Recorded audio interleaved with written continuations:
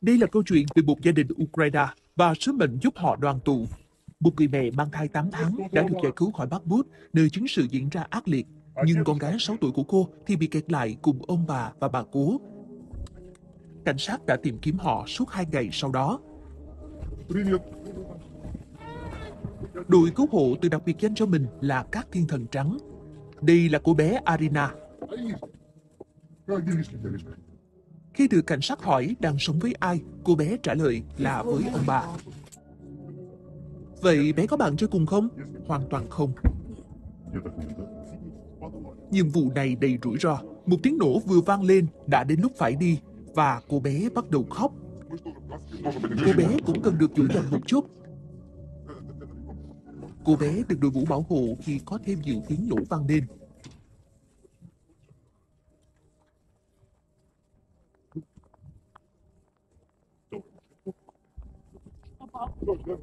Cô bé hỏi, còn bà Cú thì sao?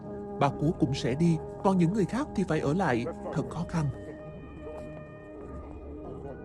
Cô bé mặc một bộ áo giáp cỡ bé có in chữ trẻ em. Đây chính là thực tế chiến tranh.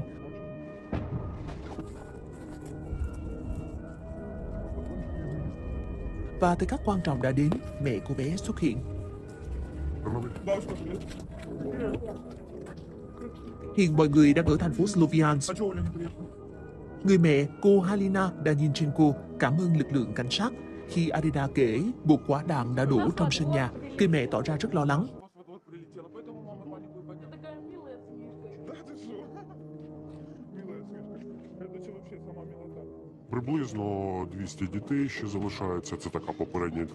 Theo số liệu sơ bộ của chúng tôi thì vẫn còn khoảng 200 trẻ em ở Bakhmut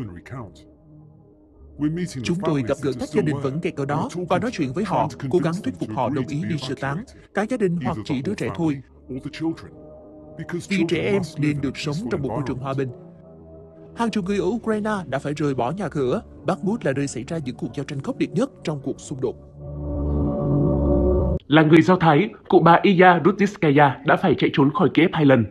Lần đầu là vào năm 1941 khi Đức bắt đầu dội bom xuống đất nước, khi đó còn là Cộng hòa xã hội chủ nghĩa Xô Viết Ukraine. Khi đó bà mới 10 tuổi. Lần thứ hai xảy ra khi Nga bắt đầu chiến dịch quân sự đặc biệt ở Ukraine vào tháng 2 năm 2022. Hiện trú trong căn hộ một phòng ngủ cùng với con trai Arthur ở Krakow, Ba Lan. Cụ bà 92 tuổi nói bà vẫn chưa thể tin Nga có thể tiến quân sang Ukraine.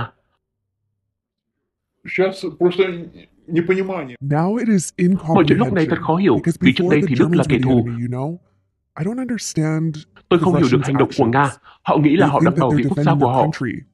Là họ tự vệ, nhưng họ lại đến nước chúng tôi phá hủy kháng kiếp tội nghiệp. Họ cần điều đó để làm gì? Chẳng còn gì ở đây nữa. Ông nội của bà từng là giáo sĩ do thay giáo chính ở thủ đô Ukraine. Cha bà là nhà văn và từng xuất bản sách cho nhiều tác giả nổi tiếng ở Ukraine. Vào tháng 7 năm 1941, khi Đức xâm chiếm Liên Xô cũ, bà Rozhetskaya tỉnh giấc vì tiếng bom nổ.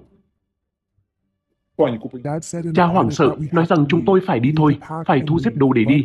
Nhưng lúc đó đã không thể đi nữa rồi, vì đến ngày 9 tháng 7 là mọi người đã bắt đầu hoảng loạn rồi. Ai chạy được thì đã chạy rồi. Gia đình bà ban đầu trốn đến Kharkiv ở miền đông Ukraine. Từ đây, họ đi hàng ngàn dặm dọc Liên Xô cũ đến Tashkent, nơi hiện là thủ đô của Uzbekistan. Bà nhớ rõ là cả gia đình trốn thoát chỉ 8 ngày trước khi vụ thảm sát Babinka xảy ra. Đức Quốc xã đã sát hại khoảng 34.000 người Ukraine gốc Do Thái, một trong những vụ thảm sát người Do Thái lớn nhất trong Thế chiến II. Sau chiến tranh, gia đình bà quay lại Kiev. Bà làm thợ sắp chữ, lập gia đình. Từ khi phải chạy trốn khỏi Kiev lần thứ hai vào năm 2022, bà đã phải trải qua cảnh sống tạm bỡ ở 10 căn hộ khác nhau. Nhưng hiện bà Rujitskaya và con trai đang ở một căn hộ khá ổn định.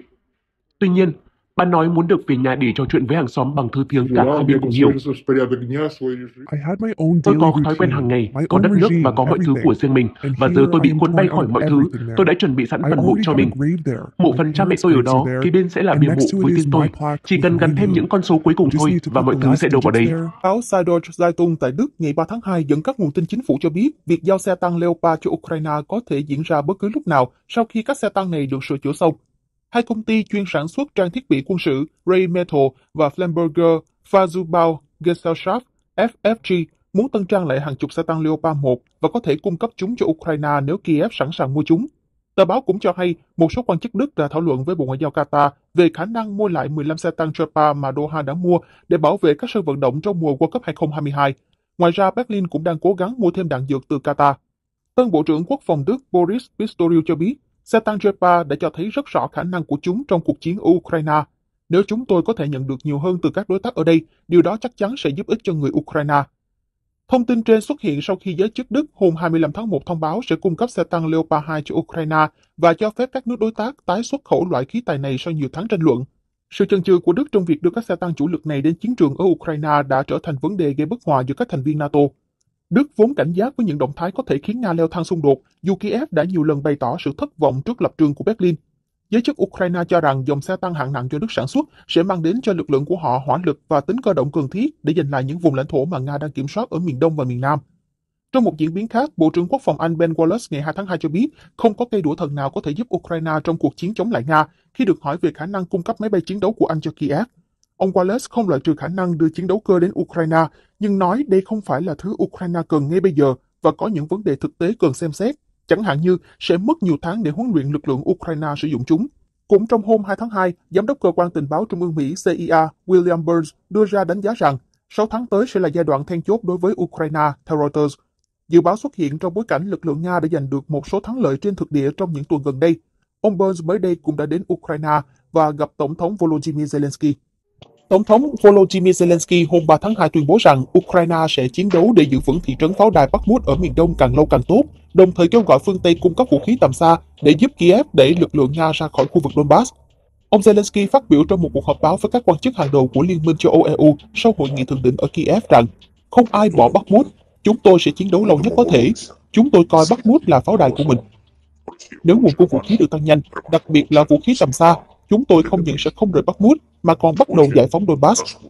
Thị trấn Bakhmut đã trở thành tâm điểm của cuộc chiến khi Ukraine quyết liệt kháng cự, còn Nga cố gắng lấy lại động lực chiến trường. Các quan chức Nga cho biết các lực lượng nước này đang bao vây Bakhmut từ nhiều hướng và tìm cách giành quyền kiểm soát tuyến đường tiếp tế trọng yếu cho lực lượng Ukraine ở đây. Tổng thống Ukraine cho biết Nga sẽ tiếp tục đẩy mạnh giao tranh ở phía đông, nhưng các lực lượng Ukraine sẽ có thể cầm cự cho đến khi có thêm vũ khí phương Tây đến. Giám đốc Cơ quan Tình báo Trung ương Mỹ CIA William Burns hôm 2 tháng 2 nhận định rằng 6 tháng tới sẽ là rất quan trọng và khốc liệt đối với Ukraine.